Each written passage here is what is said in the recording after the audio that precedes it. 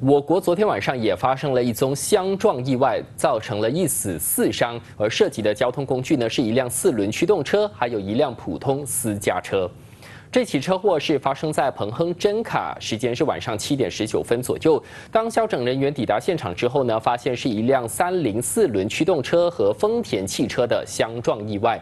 猛烈的撞击力导致丰田车的司机当场被夹死在车内。那至于四轮驱动车的司机和三名乘客则受伤，已经送往真卡医院接受治疗。